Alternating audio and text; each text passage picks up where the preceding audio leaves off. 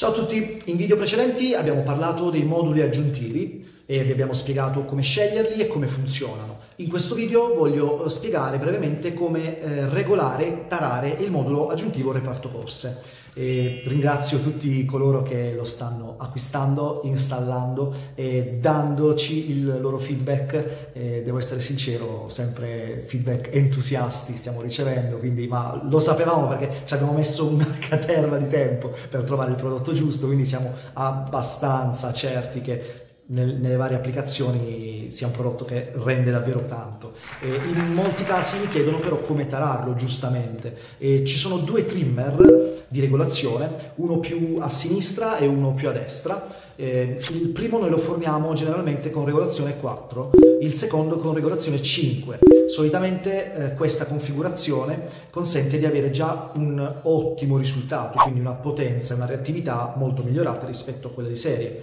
Però c'è la possibilità di andare ad affinare questa taratura spostando uno per volta i trimmer. Eh, se volete farlo, il primo trimmer da spostare è quello che noi con, con, consegniamo con regolazione 4, quindi portarlo a 5.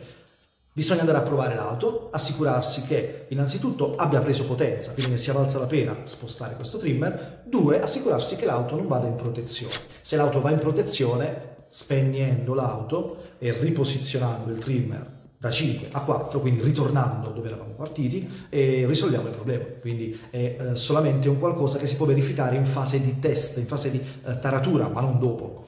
E se va bene, quindi 5, 5, possiamo spostare l'altro, passando da 5, il primo mantenendolo, a 6 il secondo. Quindi un trimmer per volta anche perché se l'auto va in protezione, quindi siamo arrivati al limite, noi sappiamo qual è stato il motivo, ovvero qual è il trimmer che abbiamo spostato per ultimo. Quindi mai spostare due trimmer insieme. In questo modo noi possiamo eh, riuscire a capire fin dove possiamo arrivare con il modulo. E capiamo quando non possiamo arrivare oltre perché la macchina va in protezione, come vi dicevo prima, ed è un meccanismo per impedire di fare danni. Chiaramente, se si rompe una qualsiasi cosa sulla vostra auto, eh, la centralina originale manda il sistema in protezione per evitare di fare danni.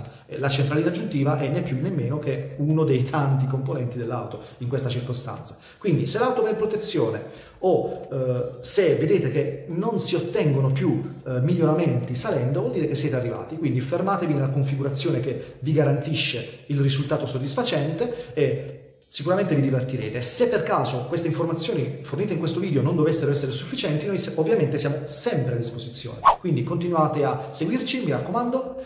Questi sono i nostri social, YouTube, Instagram, Facebook e TikTok. E il nostro sito invece vi ricordo è www.repartocorsestore.it. Grazie, alla prossima. Ciao ciao!